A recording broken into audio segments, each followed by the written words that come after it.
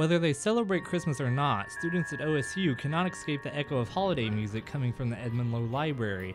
Beginning on Dead Week, the bell tower plays a Christmas song every hour at 20 minutes past the hour. As students hear the music, most of them probably imagine a choir of bells swinging in the tower. However, physical plant electrician Dan England says there are no actual bells involved. The bells are not actually bells as such, they're electronic bells. This is the piece of equipment that controls it. To put on the Christmas music, we have to program it. The library installed the digital system in 1993. However, library communications specialist Bonnie Kane says the original bell system is still in the tower. Currently, the bells that we have at the library are digital, but the two keyboards that we have here actually powered the original carillons.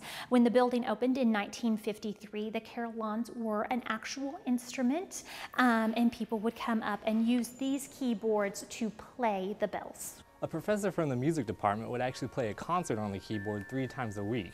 And although the library is not known to be haunted, one library employee says that the keyboards were known to play by themselves. There were rolls that used to go through a player piano. They had a very similar system for the carillon. They had certain rolls that could run through um, uh, this keyboard system and play songs. Whether it's playing Christmas music or telling students what time it is, the bell tower continues to be a part of the heritage at OSU.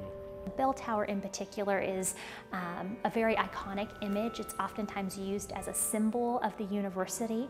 So I think the Edmon Low Library and the Bell Tower will always be here and always be a symbol of OSU. For O State TV, I'm Caleb Johnston.